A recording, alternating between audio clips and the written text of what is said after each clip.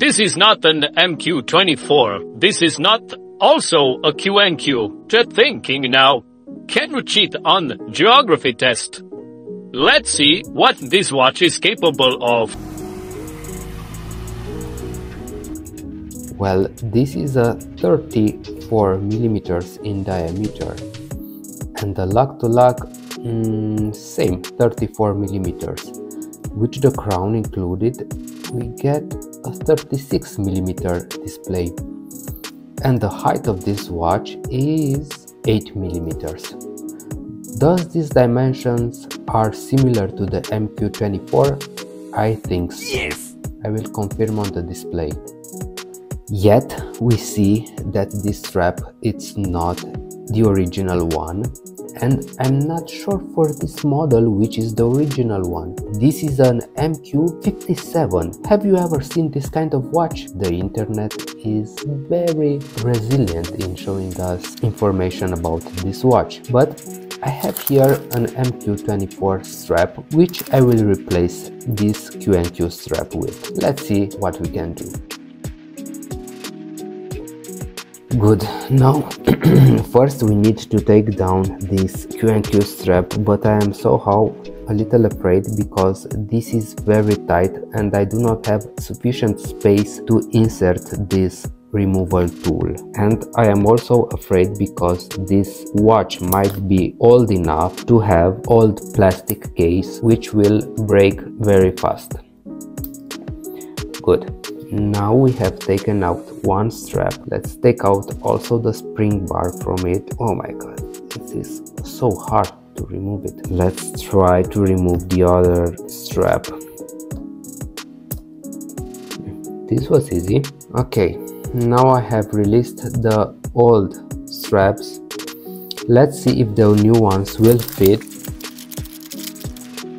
yes they will fit perfectly and take a look these straps have sufficient space for letting you put the removal tool in between the case and the strap so that you can easily remove the spring bar. Prior to place the strap what I will do I will just take out the back case. I'm so curious how this watch looks inside because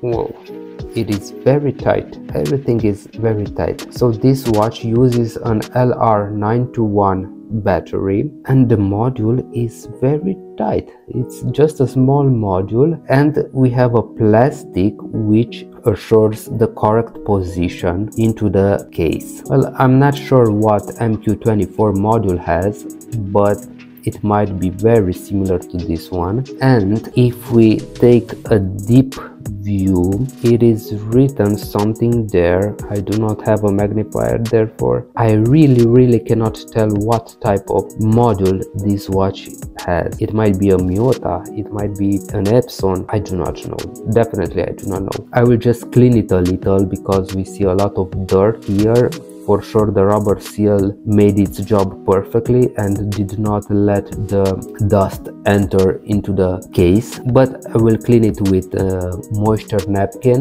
then we will continue replacing the strap. Now I would propose to see a list of Casio watches that use the same model as mine, the 371 module. Therefore we see here an MQ41 watch which has this cool design also the bracelet is somehow beautiful and yet different. Here is the mq24 the one that i have told you. And uh, this one does not share the same module although we have the same case. And the strap is the one that uh, i used for my mq57 Another one would be the MQ336 which is somehow like the PRX from Tissot. This one as well has the 371 module and um, the back case is the same as for the MQ24, M57 and 41. Here is another MQ41 with uh, this design yeah a lot of color combinations uh, from Casio side. And this watch is all all related to the 1980s and this would be another one. This is the MQ44 yet another cool design but we see that this strap it's not the Casio strap so it's not for, for Casio.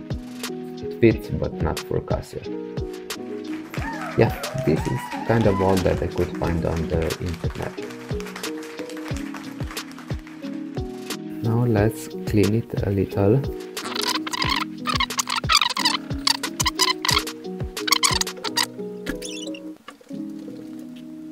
Good. And now let's make sure that it is placed in the correct position. So this has to be so the Casio logo needs to be at 12 o'clock position. We've closed it. And it works. It works pretty well. Europe it's cleaned as good as I could. I did not insist that much because in the end it was just uh, dust. Now let's try to take the spring bars from the strap from the old strap. We just have to be careful not to damage the strap and also not to damage the spring bar because in the end these are very important. Now the spring bars are removed and yes they work correctly. I like these thicker spring bars. They they present so much thrust. We have the shorter strap with the buckle. This goes at 12 o'clock position and normally they should fit perfectly exactly perfect perfect I am so satisfied I want to highlight again that this is an MQ24 strap. Perfect, perfect.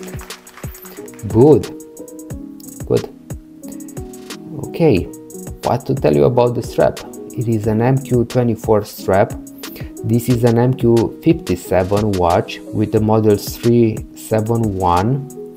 The strap suits perfectly and yes it resembles with the MQ24 and again we will have to check the dimensions on the internet for the MQ24 but I guess it's the same the strap fits perfectly and yes we have that small gap which lets us easily detach the spring bars from it.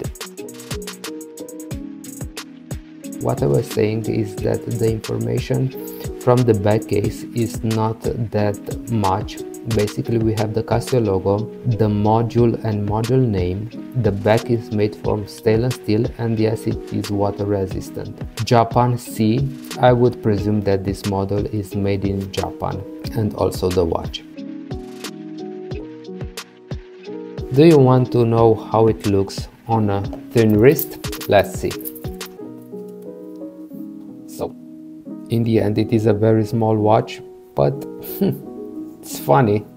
It's funny that it fits pretty well also on small wrists so also on man's wrist and you do not feel it like yeah for sure it, it looks like a child watch but in the end it's a casio and uh, yeah casio is an iconic brand. Therefore you do not have to worry about um, any judgments from the people because in the end if you choose to wear this geographical watch this uh, watch that has the uh, western europe map it's because you it was your choice. So nothing can stay up front your choice.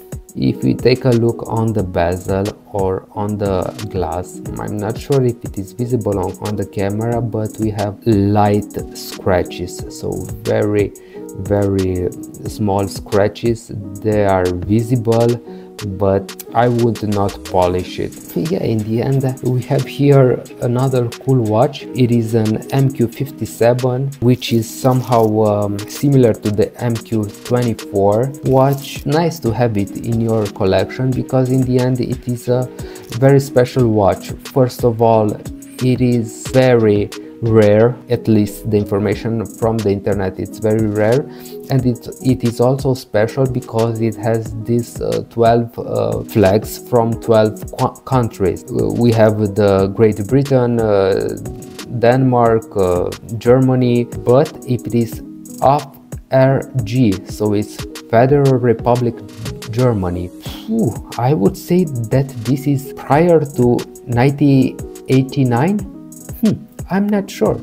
If some of you have any information in regards this uh, this model of Casio, please feel free to write in the comments. In the end, the internet is full of MQ24 and yeah, why not use an MQ57? which has this Western Europe map. Thank you, thank you for your attention. This was a shorter uh, video, but in the end, I guess you would enjoy it because, yeah, the watch is nice. I recommend it.